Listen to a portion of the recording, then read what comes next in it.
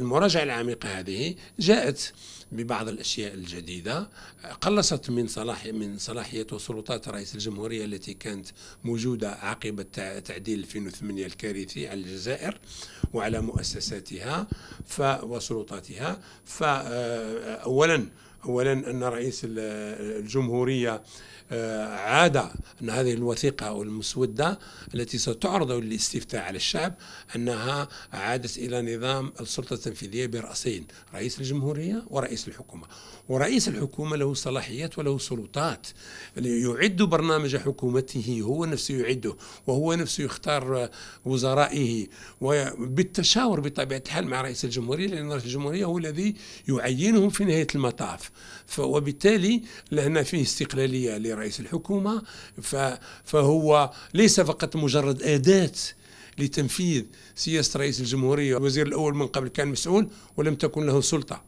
اليوم له سلطة وله مسؤولية. وبالتالي هذا شيء مهم وهذا شيء مفيد آه، وهذا يعتبر تقليص من تركيز السلطة التي كانت في يد رئيس الجمهورية.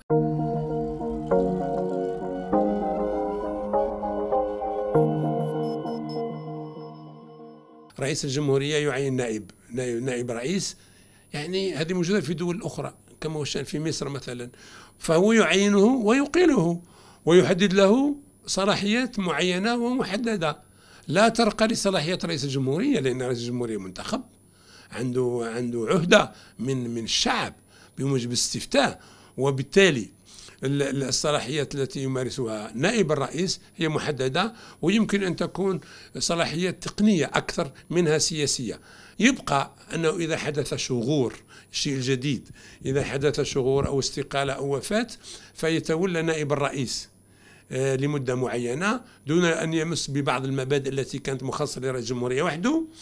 آه، وإذا آه، كان هناك مانع لنائب الرئيس يتولى رئيس مجلس الأمة كذلك. وبعد رئيس مجلس الأمة يأتي رئيس المحكمة الدستورية.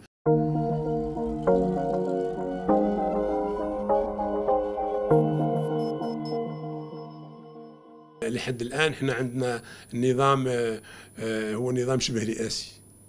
لأن كان الكثير يخلط آه، بين بين النظام الشبه الرئاسي آه، والنظام البرلماني. لأن كاين نظام رئاسي وكان نظام برلماني وكان نظام مختلط وكان نظام شبه رئاسي وكان نظام رئاسوي بريزيدونسياليست لا يمكن أن نذهب إلى نظام برلماني لأن في النظام البرلماني الكثير يعني باش حتى نوضح الصورة النظام البرلماني لا يليق بالجزائر في هذه المرحلة آه، يعني من تاريخ الجزائر.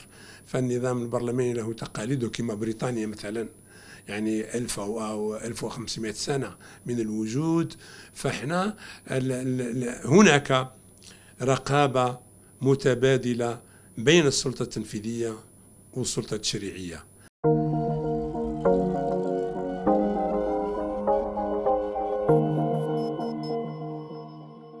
دائما موقف الجزائر يبقى آه، يبقى ثابت ومجسد في الثقافة الدبلوماسية الجزائرية في عدم التدخل في الشؤون الداخليه للدول الأخرى ولكن هذا لا يمنع من أننا دائما نحافظ كذلك على مواقعنا الاستراتيجية وعلى مكانتنا الدولية. حتى آه، نوازي بين سمعة الجزائر الدولية ونزاهة الجزائر وحياد الجزائر ووقوف الجزائر دائما موقفا متساويا من جميع أطراف النزاع في الكرة الأرضية وسمعة الجزائر في حل النزاعات الثنائية أو الجماعية في كثير من الدول هذه آه، جعلتها آه، تستجيب لأنها تساهم ميدانيا في إحلال في حفظ السلم في حفظ السلم الدولي أو إعادة بناء السلم الدولي في كلا الحالتين. عن طريق